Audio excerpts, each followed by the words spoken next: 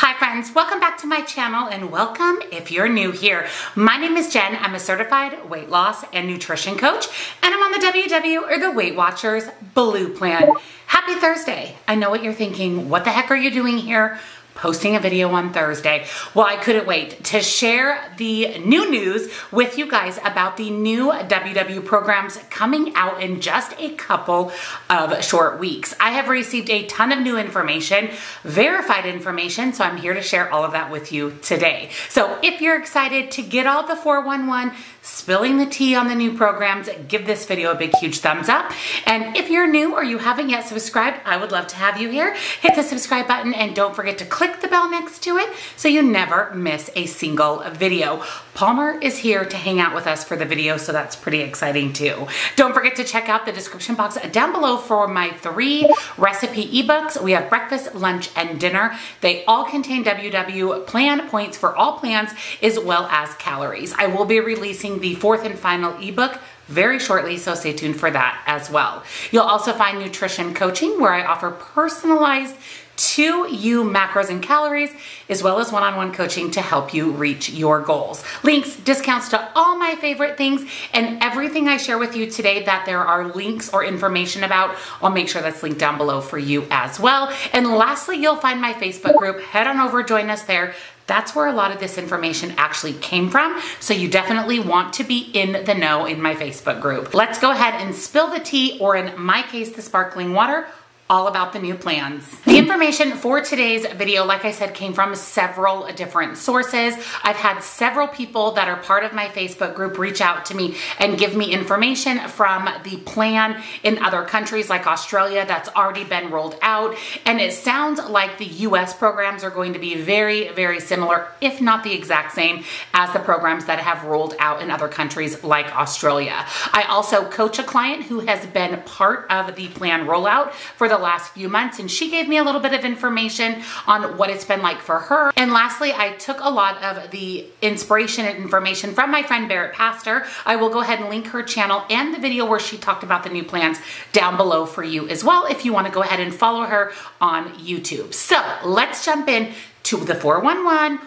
the tea about the new plans. It looks like WW has come around to a few very important things, things that I have been concerned with or talking about a lot since transitioning over to cleaner foods as well as to tracking calories to make sure that I'm eating enough. And one thing that they have admitted to or recognized is that the WW plan, if you get the minimum number of points or close to the minimum number of points, you're only eating about 1200 calories a day, which for most adults, that isn't even close to the number of calories that you should be eating every day. Here's a great example for you. My best friend is under five feet tall and she eats 1500 calories a day. So to eat 1200 calories a day, you pretty much need to be a young child, a toddler, certainly not an adult.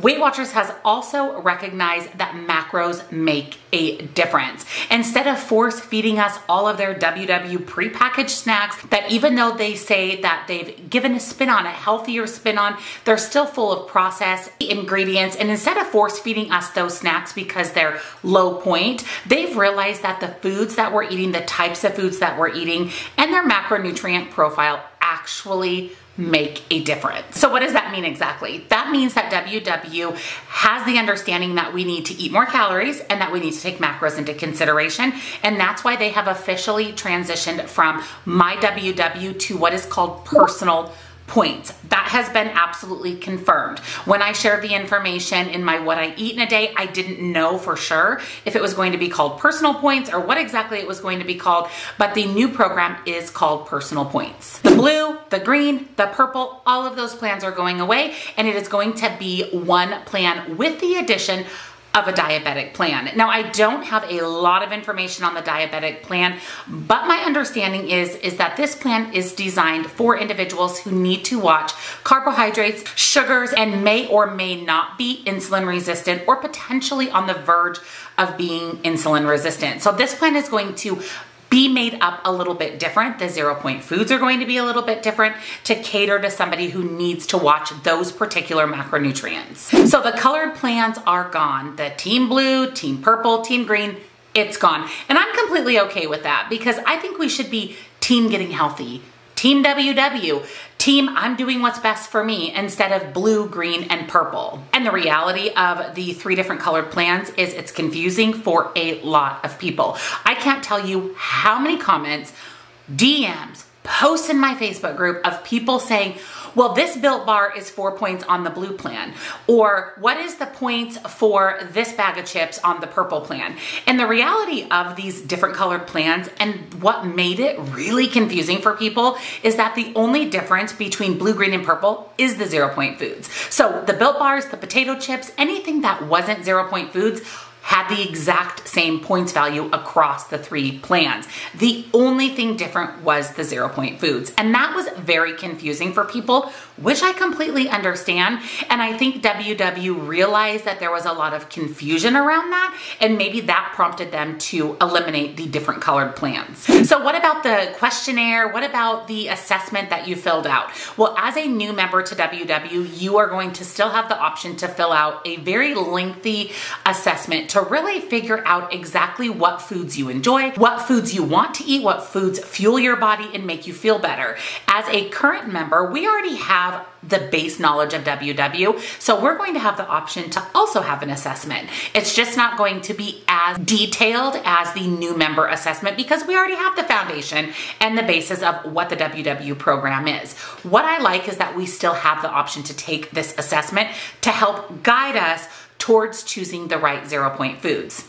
You heard me right, choosing the right zero point foods for us. That is the most exciting thing, well, one of the most exciting things about the new program and the new changes is that it's personal to us. We get to choose what zero point foods we want. So my coaching client showed me her app and like I said, she's been in the test group or the pilot program for several months now. And she showed me the list of her personal zero point foods. So she was able to choose a certain number of foods as zero points. Some were vegetables, some were fruit, some were protein, some were healthy fats. She had the the option to choose her own zero point foods. And as a weight loss and nutrition coach, I really, really really like this aspect of the new WW program because maybe for me, I don't want potatoes to be zero points because maybe I overeat them or maybe they have too many carbohydrates or they just don't work into my plan. And maybe instead I want avocado to be zero points. I know. Shocking, right? A-V-O-C-A-D-O is now potentially zero points for you. Now there is some information out there that avocados are only a zero point option on the diabetic plan and then there's information that anybody can have avocados be zero points. I will tell you right now that this girl is gonna have avocados be zero points. WW is recognizing how important healthy fats are, especially for individuals who are insulin resistant or need to watch their sugars and their carbohydrates. So I feel like they've listened. I feel like they've listened to all the feedback. I know I have completed several WW surveys, and I always say in those surveys, Number one, I wanna know the calories. Number two, I want macros to matter. And number three, healthy fats should not be so heavily penalized in points. And I feel like they've listened and they've listened in the aspect of macronutrients as well because fiber is now taken into account when figuring a point. So back in 2003, I joined WW and that was the old school slider program where literally everything counted. There were no zero point foods. Your banana was two points. I loved that program. I loved that it took into account calories, fiber, fat, protein. It took into account all of those things where they took fiber out of the equation when they introduced smart points. And that leads people to choose foods that aren't filled with fiber. And fiber keeps us full. Fiber keeps us regular. Fiber is very, very, very important in our diet. And in fact, as women, we should be eating 25 grams of fiber every single day. And as men, we should be eating 35 grams of fiber. So the fact that WW is taking fiber into account makes me happy. So my zero point foods will be different from your zero point foods. That will be different from your sister's zero point foods. So that makes it a little bit challenging when it comes to what I eat in a days and recipes. And this is something I've really been thinking a lot about since I heard about personal points and how everybody's going to have different zero point foods. So it's definitely going to make it harder as a YouTuber because when I share points in my grocery hauls, they may be different for you. When I share the points in my recipes, they may be different for you. And maybe when I'm making my breakfast, my avocado is zero points, but yours isn't. So that's going to be a little bit of a challenge and I haven't quite figured out how to navigate that yet. I think what's probably going to happen is that we will just be sharing points for us. And in the event that avocado isn't zero points for you, then you would obviously have to add that in to the total points of that meal. But here's the thing, being on a weight loss journey, being on a health journey, you have to have some personal accountability. You can't expect everyone to do everything for you. You actually have to put in the effort and have the personal desire and accountability to reach your goals. And if that means refiguring the points of a recipe to work for you, then that means refiguring the points of a recipe to work for you. If that means that you have to add one extra point for the avocado, then you add that one extra point for avocado. Most of us have the WW app. Most of us have access to digital WW. We can do it on a piece of paper. You may just have to do a little bit of points configuration for yourself. Everybody has the option to have different zero point foods. I personally don't think it's going to be a big deal. I'm going to keep sharing as usual. My content will not change. In fact, I plan on bringing you guys even more recipes now that we have macros that take apart, now that we have fiber built in, now that we're really leaning towards choosing healthier whole foods with healthy fats. I definitely plan to bring you even more recipes. So this isn't going to make any difference for me on my channel. And the last change that I wanna briefly talk about is one that I'm not sure how I feel about. I mentioned this in my What I Eat in a Day when I shared some of this information a few weeks ago, and that's been confirmed through my coaching client that's currently doing the new program that you will have the opportunity to not only earn back fit points or exercise points like we've always had that opportunity, but you will also be able to earn back points from water and vegetables. So you will set yourself a water goal and when you reach that goal, you earn back one point. She said it was only one point. So that makes me feel a little bit better that just because I drink my water, I'm not earning back 10 points. It's simply one point. If I eat vegetables in a meal, I have the opportunity to again earn back one point. She said that she's only been able to earn one point, which I don't think is really an issue because like I mentioned, we under eat a lot on WW. So the fact that we get an extra point is it going to derail your weight loss at all? I just don't know how I feel about if you eat a vegetable, you get a point. Because how many vegetables are people going to be eating every day to get extra points to eat junk? And that's my big concern with that. I understand that WW is trying to reteach healthy habits or teach you healthy habits in eating your vegetables, moving your body, drinking your water. But if you're just using those points that you earn, no matter how minimal those points are for junk food, it's kind of defeating the purpose of making healthier choices, if that makes any sense. So I'm very interested to see how that plays out and how that affects people in their day-to-day -day choosing of the foods that they're eating as well as how many points they're earning back for whatever foods they want to eat. So that is the tea. That is the 411 on the new WW plan instead of plans that will be rolling out shortly. So let me know down in the comments, what do you guys think of the changes?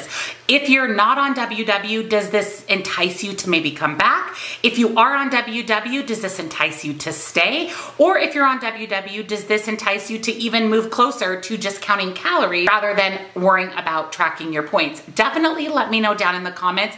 I want to hear your perspective and your thoughts on the new program. Once it officially rolls out, I will do another video where we will go in depth into the program because honestly, things could change before then. Some information, pieces or tidbits that we don't have yet that I'll share in that video as well. So once it rolls out, we'll come out, I'll come out with a whole nother video all about the changes. So I'm excited. I have to say that there are things about the new plan I'm excited about. There's things about the new plan that have me thinking a little bit. I definitely am going to give the new plan a try, but I'm not sure if it's changing enough for my liking, if that makes sense. So definitely stay tuned for my thoughts as the plan rolls out and don't forget to let me know your thoughts down in the comments.